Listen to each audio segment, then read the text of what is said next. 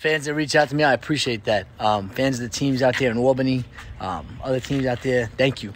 Uh, it means a lot to me. My son seeing me play means everything to me. He wasn't able to see me play against Green Bay in the IFL, but if I'm out there this year in uh, Duke City, in New Mexico, even in Albany, Orlando, it means a lot to me. It means everything to me. All right, everything to gain, nothing to lose with this situation. All right. I always say inspire, motivate, change. People know your story, your inspirational story when they when they see it and they know it. I've been you see ten percent of this hard work every single day, uh, ninety uh, percent of the stuff you've been through on and off the field. It's highs, lows, everything. Um, but it makes you it gets a chip on your shoulder. Makes you the player that you are.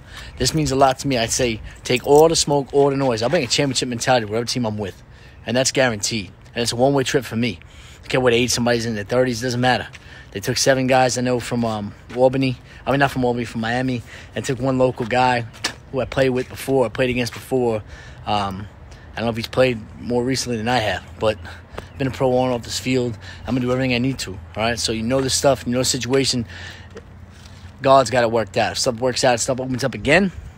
I'm right there, okay? But believe me when I tell you this, it's a one way trip mindset. I am the best slot receiver I can be. All right, I will be the best I can be. Inspire, motivate, change, get out of the way, help people out, do what you can do, stay humble, stay hungry. Let's get it.